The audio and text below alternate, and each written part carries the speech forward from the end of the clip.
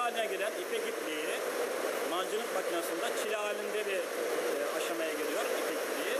Çileyi biz tavelde, tavelde makaraya döndürüyoruz. Makaraya sarmamızın nedeni hüküm yapabilmek için. Çünkü hüküm makinesi makaradan çalışabiliyor.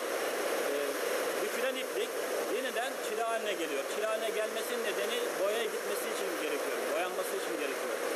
Bazı zamanlar boyanmaması gereken